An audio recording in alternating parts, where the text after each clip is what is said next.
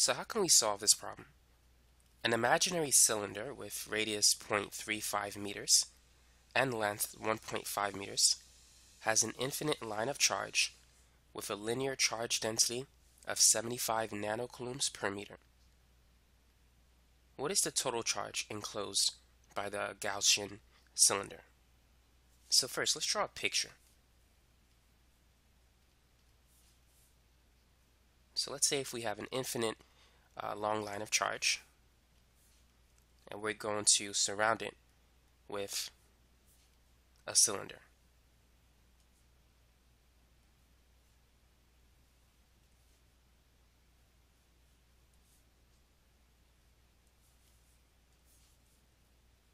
So this line of charge has a net positive charge. We have the linear charge density. So we know lambda is 75 nanocoulombs per meter.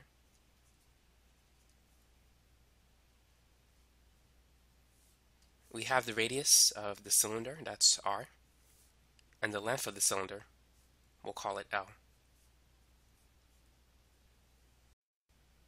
So now let's focus on part A. What is the total charge enclosed by the Gaussian cylinder? Well, we know that lambda represents the linear charge density, which is the charge divided by the length. So to find the charge enclosed by the cylinder, we can rearrange the equation, multiplying both sides by L. So it's lambda times L. So Q is going to be 75 nanocoulombs, which is 10 to the negative 9 coulombs per meter, times the length of the line of charge that is in the cylinder, which is basically the length of the cylinder, and that is uh, 1.5 meters.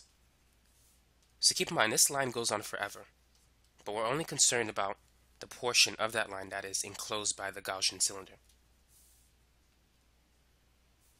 We can see the units and meters will cancel. And let's get a calculator and type this in. So the total charge enclosed by the cylinder, I'm not sure what just happened there, it's equal to 1.125 times 10 to the minus 7 coulombs.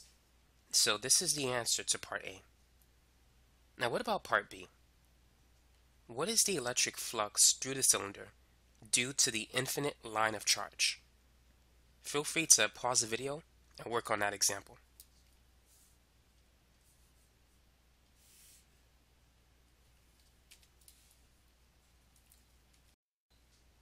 So what equation can we use to calculate the electric flux?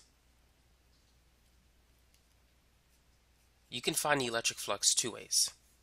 The first way is if you know the electric field and the area.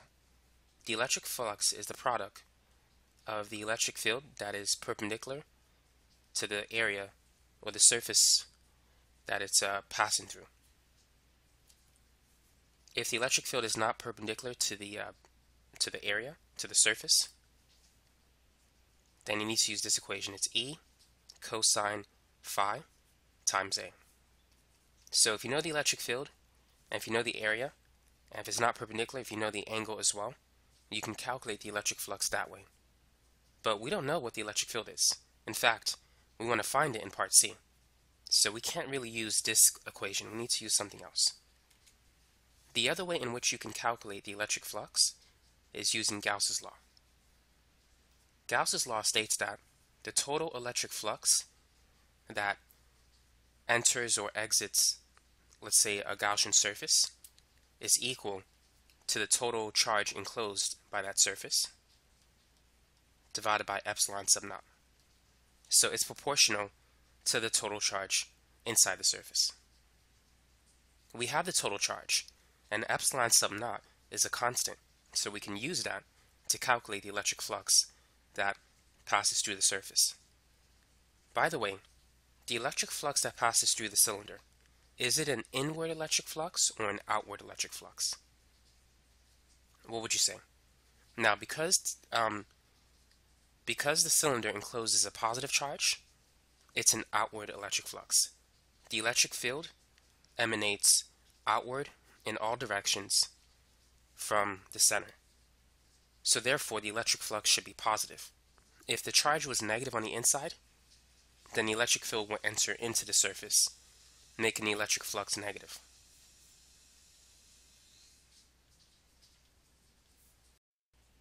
So let's go ahead and calculate the electric flux. The total charge enclosed by the Gaussian surface is 1.125 times 10 to the minus 7 coulombs. And let's divide it by epsilon sub naught, which is a constant, and that's 8.85 times 10 to the minus 12. So I'm going to put this Q value somewhere here. Let's just rewrite it in this area so I can have some more space to work with.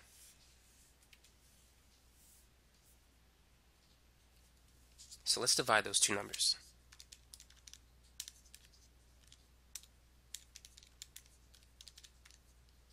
So the total electric flux that leaves the cylinder is equal to 12,712 newtons per newtons times square meters per coulombs. So that's the unit for the electric flux. And it's positive because it's an outward electric flux. So that's all you got to do for part B. That's how you can find it. Now what about part C? Calculate the electric field at a point 3 meters away from the infinite line of charge.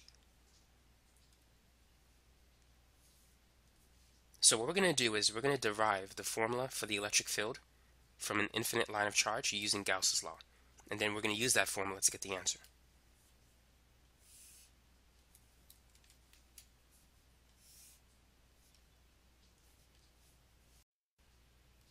So let's begin with this form of Gauss's law. The electric flux is equal to the total charge enclosed by the Gaussian surface divided by epsilon sub naught. Now the electric field that emanates from the line of charge is perpendicular to the surface. So it forms a 90 degree angle with the surface. But relative to the normal line, let's say this is the normal line to the surface, the electric field is parallel to the normal line, which means that the angle phi is equal to zero. Keep in mind electric flux is EA times cosine of the angle that's between the normal line, which is perpendicular to the surface, and the electric field. But cosine 0 is 1, so we don't need the cosine part in this equation. Now we said that Q is equal to the linear charge density times the length of the Gaussian cylinder. So let's go ahead and replace Q with lambda times L. Now what do you think we need to do at this point? What would you do in this part of the process? So what about A? What is the area of the cylinder in which the electric field passes through. Now, first, you need to realize that the total surface area of the cylinder is equal to 2 pi r squared plus 2 pi r times h, the height of the cylinder, in which case the height of the cylinder is L in this particular problem. Now, pi r squared, that is the area of a circle. The cylinder has a top circle and a circle on the bottom. So pi r squared plus pi r squared is 2 pi r squared. So that's the area of the top and the bottom circle. The area of the top and the bottom is also known as the area of the base. The lateral area is 2 pi rl. The lateral area is the area around the cylinder the area that doesn't include the top and the bottom circle. Now, which area do we need? The lateral area or the area of the base, the top and the bottom part of the circles? Which one would you say? Well, let's look at the electric field at the top surface. The electric field emanates away from the line of charge. And notice that the normal line relative to this circle here, it's vertical, whereas the electric field is in the x direction. The angle between the normal line indicated in yellow and the electric field in blue is 90. And cosine 90 is 0. So therefore the electric flux through that surface is 0. Which means we can't really use that. There's no electric field vector that passes through the top circle and the bottom circle. So that area is insignificant in this problem. We don't want to use it. So keep this in mind. The electric flux is at a maximum whenever the electric field is perpendicular to the surface. The electric flux is at a minimum, or it's equal to zero, if the electric field is parallel to the plane of the surface, which that's the case for the top and bottom part of the cylinder. So we need to use the lateral area, 2 pi RL. So let's go ahead and replace A with 2 pi RL. So this is going to be E times 2 pi RL, which is equal to lambda times L over epsilon sub naught. So we can divide both sides by L. Next, let's divide both sides by 2 pi r.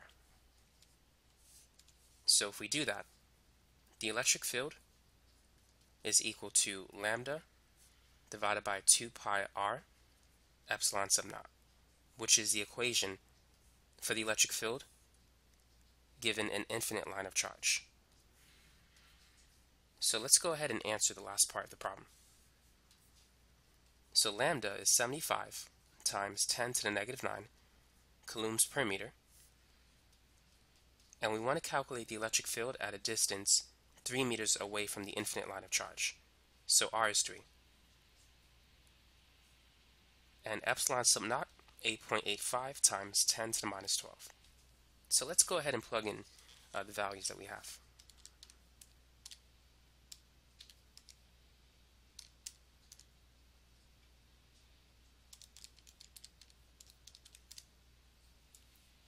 So what I got is 450, rounded to the nearest whole number, newtons per coulomb. So that is the electric field 3 meters away from the center, from the line of charge.